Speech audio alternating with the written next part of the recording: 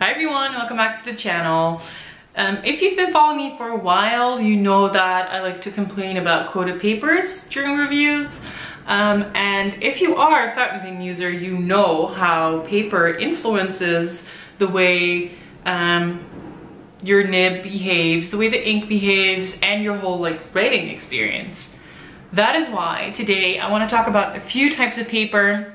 I've uh, gathered like six notebooks um, that I want to show you, some swabs in, and I might scribble in them a little bit. Um, and I'm doing this because paper to me is like really personal. Uh, there's people who love Rhodia, uh, which is a coated paper. Um, and there's others who only uh, use Tomoe River. Um, and I want to show you uh, the elements that make people like those papers. Um, and I will give you my personal opinion. There's actually a notebook in here that I have not used. It's Apica Premium. It's a CD notebook. Um, I have done the swabs in this, but I haven't really written in this, so this will be an interesting experience for me too. Supposedly super smooth paper. Um, so I have this. I have a Hippo Noto, which is a 68 GSM Tomoe River notebook. Used to use this as a journal. It's now mostly a swab slash pen test notebook. Um, so yeah, Rhodia pad, um, use it for letter writing and um, ink swabs when I'm uh, comparing uh, how an ink behaves on Tomoe and on Rhodia because those are really like the mainstays in the fountain pen world. Um, I have a Leuchtturm here. This color is atrocious. I don't know why I bought it. Um, this color is great. Um, so I did some swabs in here. I like Leuchtturm.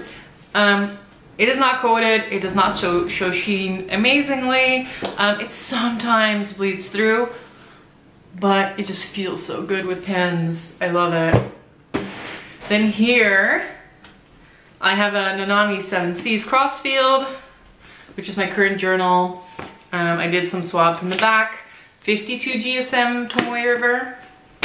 And then one that is basically the cheapest one here if you don't count the Rhodia pad. And if we're talking about notebooks, this is the cheapest one. This is a black and red notebook, which is Optik paper. Um, and I thought Optik paper was mostly made by Clairefontaine, but this paper is different than Clairefontaine paper, in my opinion. It is better. So I don't know what the difference there is, um, but it's pretty great. This was, let's go through the prices. This was about $10 for a notebook. Um, it has 70 sheets of paper. This was about $30. It has 480 pages. Um, term, about $20, 256 pages. Um, yeah, this is like $4. The notebook is 20 and I believe it has Ooh, 190 pages. Yes, I'm sure of that. Hippo Noto, I, I had to look this up because I had this for a while. I believe $45, um, around 500 pages, 450, 480, um, pretty decent. The Apica Premium um, was 14-ish dollars and it has uh, 96 sheets. So those are the prices. None are really cheap. These are all quite expensive. You can get Optik paper for cheap, um, but it's not black and red Optik paper, so yeah. Okay, let's change the shot and go look at the paper and the ink swabs that I made. All right, here I am with a notebook that I know least about and that I've never actually filled a notebook of, and that is the CD notebook, Apica Premium CD notebook. Um, this is known for its very smooth paper. And I don't mind smooth papers. I'm okay with them. Um, I don't like coated papers, but coated is different than smooth. Um, haven't actually written very much in this, so i will do a writing sample in this as well as show you the swabs. So I have three inks right here. This is Iroshizuku Momiji, this is TWSBI Midnight Blue, and this is Krishna ink uh, Brown Pink. I had to think about that one. Um, and these inks they look decent. Um, I felt they looked a little washed out on this paper. Uh, I compared them to the Rhodia and it's not very noticeable. It's just here, it's just slightly more um, muted than on the white Rhodia paper.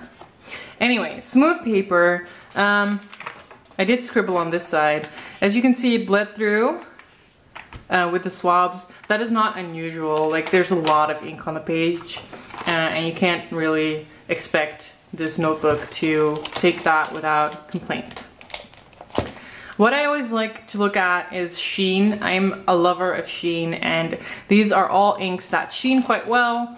Um, and in my opinion have a different uh, wetness level. So this Krishna ink is super dry. I don't like using Krishna inks. I love the way they look, but they're super dry. This uh, TWSBI Midnight Blue is wet um, and the Iroshizuku Momiji is, I would say, in between um, uh, medium and wet. So they're like kind of different, which is good. So if I want to show sheen, you can definitely see sheen on the Midnight Blue. I can see sheen on the Momiji. I don't know if this shows up in camera, but there is definitely like this golden green yellow sheen. And then normally brown pink is also a sheener. It's very hard to see. There's like a little bit of green right there, but it's extremely hard to see. So for Sheen, I would not say this is the optimum notebook. Um, the paper is very smooth. Uh, I would say it is kind of like Tomoe River level smooth, but it looks like the paper just rejects ink to me. And that is different from Tomoe River. And um, it does look more muted on this paper than on, let's say, the Tomoe River journal I've been using because I've used this pen in there and um, this ink quite is quite popping on that paper, but here it, ooh, take the camera, it feels like it just goes a little muted. All in all, I think this is a good paper. It is not very expensive. It was $14 for a notebook. Um, and it is, I would say it is fountain pen friendly. Like it doesn't bleed here. It just does with the swabs. So if you like really smooth papers and you're interested in trying something new, this Apica notebook is definitely interesting. Uh, it has 96 sheets, so 40, $14, 96 sheets. Decent, works well with fountain pens. Let's move on to my least favorite of the bunch, and that is Rhodia Rhodia is good paper for a decent price, right? I cannot say that it's not good paper. I just don't like the way it feels with my nibs. It is coated, um, not coated in the same way as the CD notebook. This one does not mute the colors as that other one does, but um, there's a certain smooth feel. It's like there's something on the paper. That's how it feels to me. So it's very personal. Um, I, I'm okay with writing letters on Rhodia, but I don't like journaling in Rhodia. Sheen-wise, um, there's some on the Midnight Blue, but it's it's not very noticeable at all. Uh, same for the uh, Iroshizuku. Um, I like the way this looks a little more saturated on this paper, the brown pink, but again, not really sheeny. Did better with a bleed test though. As you can see, Momiji did um, go through a little bit, but the rest of them did not. So it is very ink resistant. Coated papers generally are. So that is very decent. So if you're looking for, if you're trying out papers and you're looking for a paper to write letters on or to journal in, Rhodia is a good, good shout. It's just not my favorite. Like it, it doesn't it doesn't bleed, it doesn't feather, it doesn't ghost. Um, it is good. Just I don't like the coated stuff. Yeah. So this is a Leuchtturm.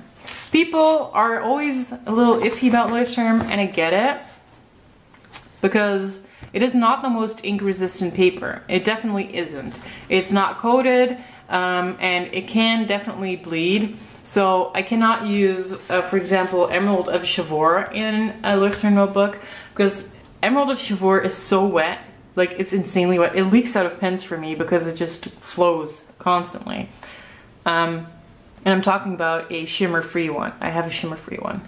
Um, I can do a video about it, how I did that, but it's not that interesting, I think.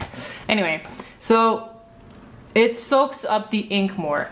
For me, that is good because it makes my pens feel more wet. So, um, because the, the paper soaks the ink up, it like sucks the ink out of the nib, if you know what I mean. And I don't mind that. I like that feeling.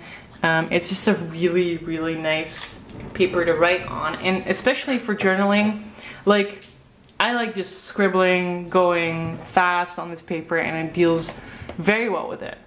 What we haven't talked about actually is smearing. So smearing, if, if a paper is coated, uh, and you have a very saturated ink, it's very easy if you have oily fingers to smear the ink. I don't, I have very dry fingers right now, um, so this ink is not moving. But if you have oily fingers or wet fingers, and a coated paper, ink just slides off. And if you have a paper like Leuchtturm, it does not do that as much. So if you if you tend to like move over the, the ink with your hands, uh, if you're lefty, this paper is better for that. Um, sheen. There is sheen on the Midnight Blue. I hope it picks up. I cannot see if it does.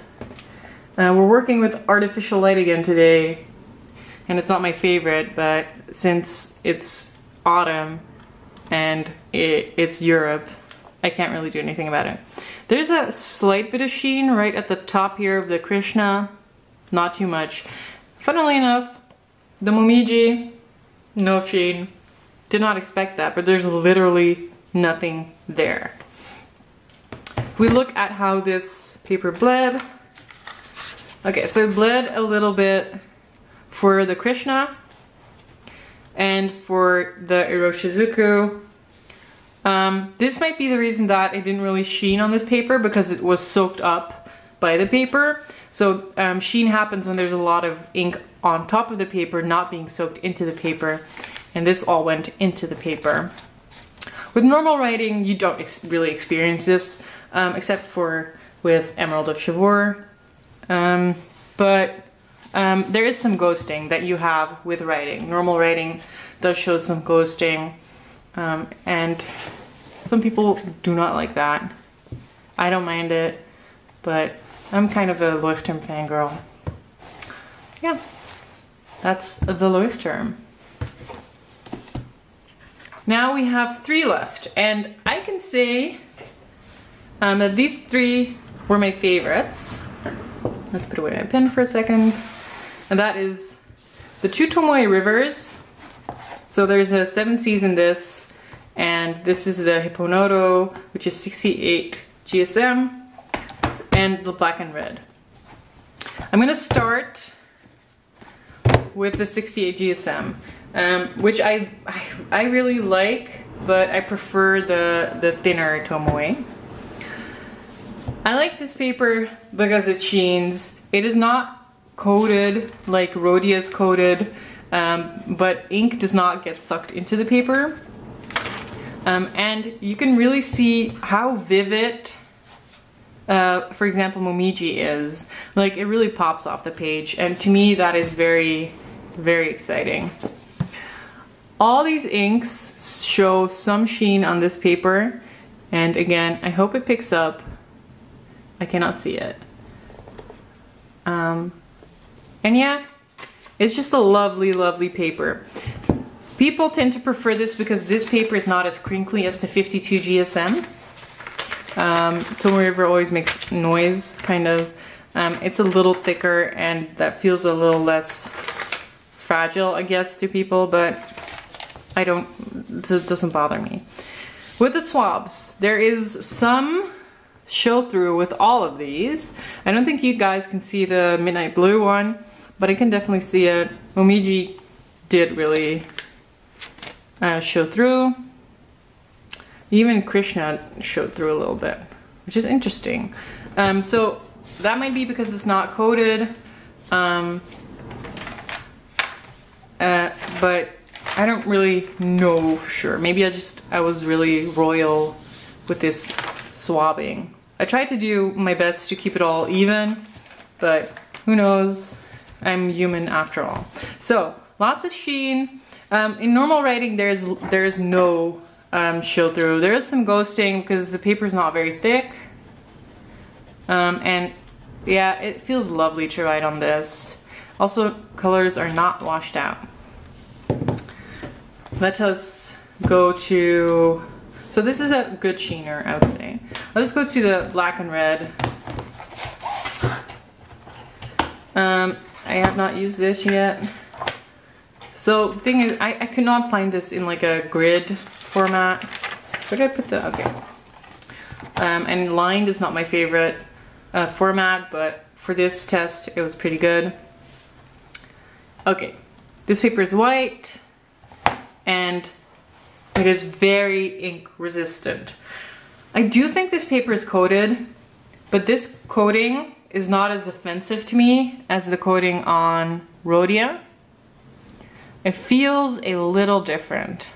Um, and it's nice to write on. So I don't mind this one. Uh, actually, it might become my next journal because if you look at this, and I hope, hope, hope you can see this, this shows sheen like a monster. Like, there is a lot of sheen on this. It's on all three inks too, like even the Krishna's showing sheen and I'm a big fan. So I would say this black and red notebook sheens more than the 68 GSM Tomoe River. Even though Tomoe River is known as the sheen paper, this sheens more. I love that.